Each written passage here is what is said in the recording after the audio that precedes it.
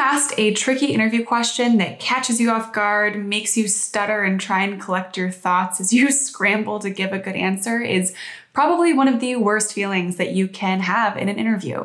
So, to try and help you guys out and avoid this, I went to the career coaches here at Indeed and we've compiled a list of 10 interview questions that are typically and notoriously tricky, along with answers that you can confidently provide to try and mitigate some of those nerve wracking feelings. These questions are either questions about your past performance, your self awareness in the workplace, or your run of the mill gotcha question. If you're not sure what I mean by that, stick around to the end where I'll explain and give some examples of what those typically are and how to look out for them. So let's kick things off first by discussing some questions that are really tricky that employers like to ask about your past experience.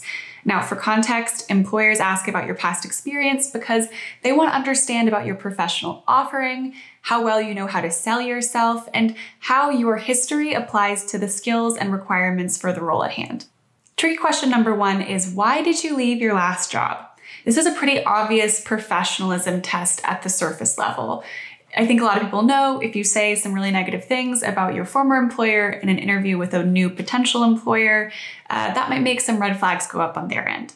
However, there's a secondary motivation that employers may have for asking this question, which is to determine how committed you might be to this new opportunity. Hiring is expensive and they want to make sure that you're a long term investment. If you left on good terms, great.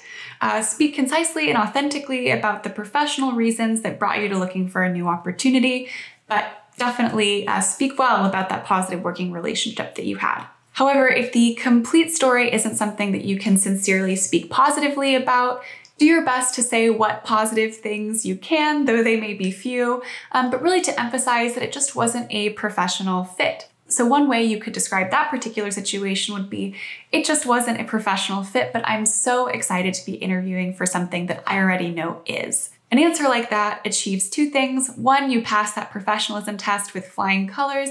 And then two, you're really able to demonstrate that you're interested in being a committed long term employee. Tricky question number two why have you changed jobs so often? Like I said, companies invest a lot of time and money into training and hiring, so they want employees that they think will stick around. So the trick to answering this question is we can sometimes feel like we need to provide a reason for each and every move that we made professionally, but that is not the case. You may have perfectly great reasons as to why you left each job, but the more you talk about it, the more space and time this question of you changing jobs a lot takes up, try and come up with a one or two sentence response that generally explains why you moved around a bit, but bring the conversation back to the opportunity at hand and why you see it as a long term fit. For example, you can say, right now, I'm in the process of looking for a long term professional home. For a while in my career, I took some gigs that I knew would be shorter term at the outset, and there was one other opportunity I had, which unfortunately I lost due to layoffs that the company underwent. However, I absolutely see this role as a long term investment on my end. Tricky question number three Tell me about a time when you made a mistake at work. Yikes! Obviously, this is a not so fun question to be asked because we don't want to provide a mistake that scares the employer away. So, what level of mistake is acceptable to disclose? The trick to responding to this question is that managers just want to see that you have made a mistake, you can own it, and that you've learned and implemented tactics to prevent that mistake from happening again. So, to answer this question, concisely tell a story of when you made some kind of error or blunder, what you learned from it, and how you can now approach similar situations differently. This can be a big mistake, it can be a small one, but the important thing is that you take it on your own shoulders, really show that accountability. For example, you could say, in my first job, I made the mistake of not proofreading a piece of social copy that went out and actually appeared on my boss's phone. I, of course, quickly fixed the mistake, and from that point on, I learned the importance of creating a system for myself of reading every single piece of social copy out loud so I didn't make that error again.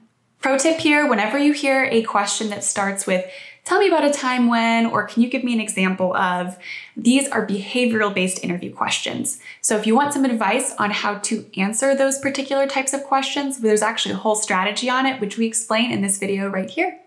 So this brings us to our next type of tricky interview questions. I'll sort of term these self-awareness questions, but before I hop into those, Please, if you've watched this far, give us a like, uh, subscribe down below, and turn on the notification bell.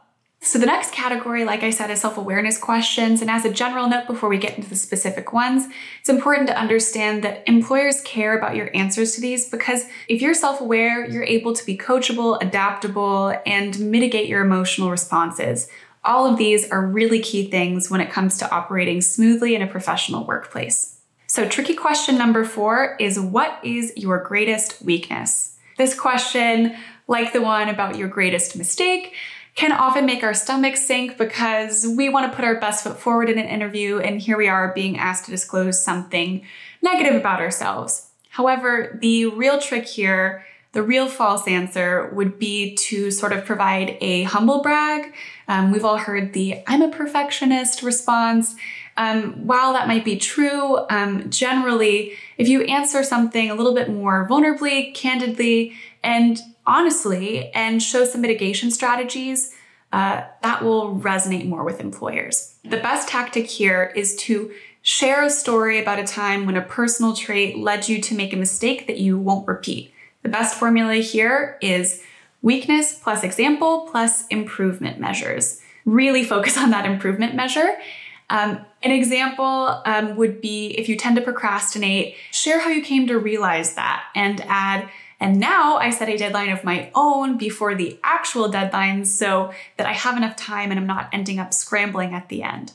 Don't revert to uh, sugar coated weaknesses like I'm a perfectionist or I'm a workaholic. These don't really demonstrate your self awareness and openness to improvement. Tricky question number five is what might your current boss say about you? Oof, this is another tough one. It's easy to leap into overinflating what your boss might say.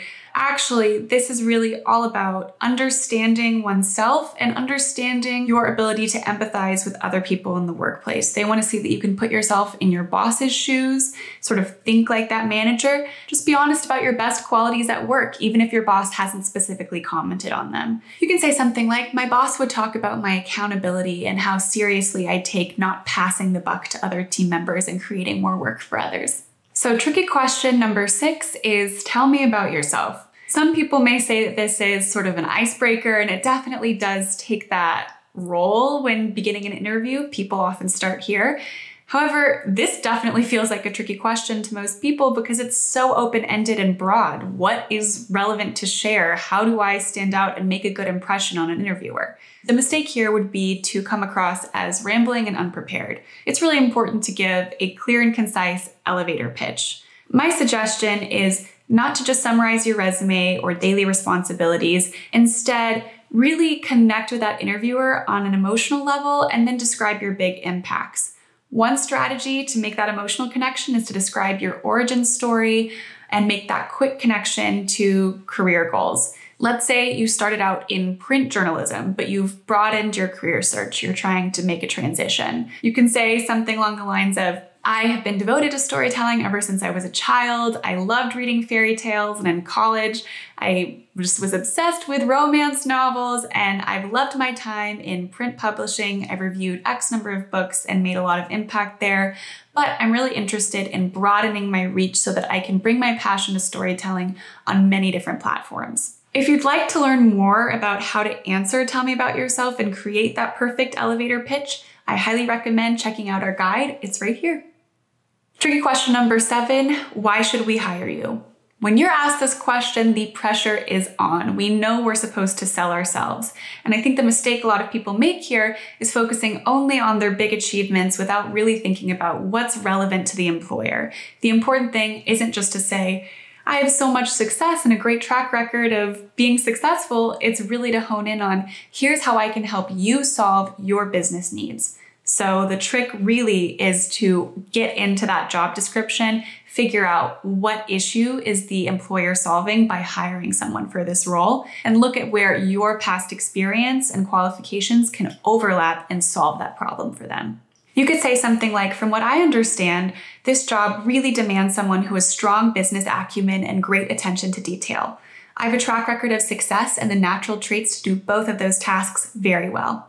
Tricky question number eight is what salary are you looking for?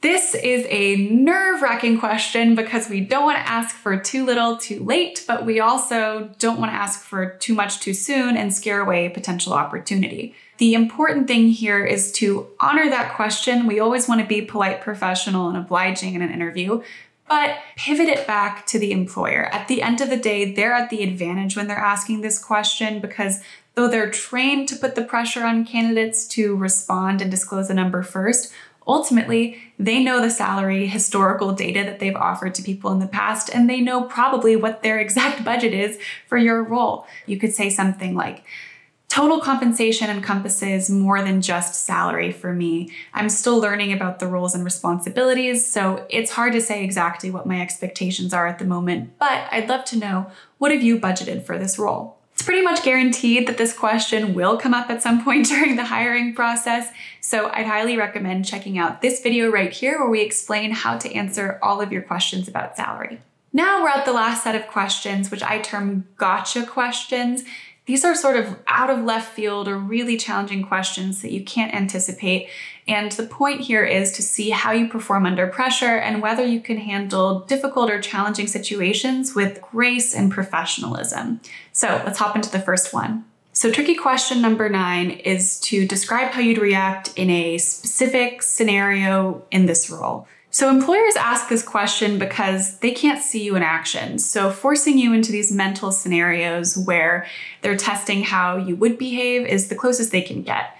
It's kind of an unfair uh, scenario because obviously um, you gain a lot more experience and knowledge the more you become ingrained into the role. But the important thing here is to really become ingrained and understanding the real priorities of the job. The night before your interview, what's recommended is to really visualize a day to day that you anticipate this job would be and thinking about what those key metrics are. What is the overall priority? When you kind of create this mind frame of being clearly guided by what the ultimate goal is, you can handle this kind of question with poise by keeping that in mind. For example, if you're asked how you would drive sales at a new company um, and you know that giving presentations is a big part of the role, and you have familiarity with that from your previous job, go ahead and say something along those lines of At my current company, I give business development pitches at least once a month, and I'm really confident that once I understand these product features, I can craft and deliver compelling presentations very quickly in order to maximize our overall revenue. The final tricky question is just that a trick question could be challenging trivia or a hypothetical scenario that throws you off guard, uh, something that more than likely no one on earth has a confident answer to on the spot. For example, how many elevators are there in the USA? Or what would you bring to a desert island if you could only pick three things? While these questions are definitely going out of fashion, um, they still do occur typically with uh, recent graduates or people with not much experience.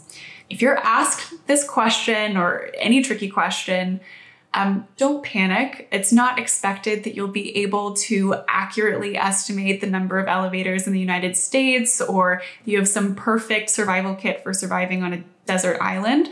It's really all about explaining your thinking and showing that you can solve problems well and communicating that. For example, I don't know exactly how many elevators there are in the US off the top of my head. But in order to solve that problem, I would start with an online search, reach out with friends or colleagues who might know more about the topic than I do, and then synthesize that research and what I've learned. And depending on how important it is to get really accurate information, I could go beyond that and conduct firsthand research myself. I'd then bring my ideas to my boss to get the best solution. And just a quick note here this piece of advice can be applied not just to trick questions, but to any question that is difficult or challenging for you. Everything from a behavioral interview question that is really specific and you don't have a specific scenario to share that matches up, or it could be a question about a certification that they wanted you to have that you have never even heard of.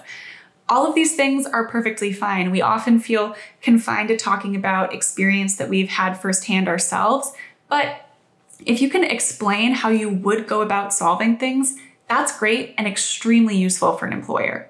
If you found this video helpful, please let us know by hitting the like button down below and subscribing to our channel right here. If you want more interviewing advice, we have a whole playlist on interviewing that you can click right here. And if you want some advice on what to avoid in an interview, I highly recommend checking out this video right here. Thank you so much and best of luck.